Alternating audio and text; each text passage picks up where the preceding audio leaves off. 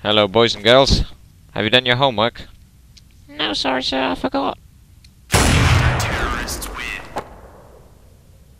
Well, what are you doing?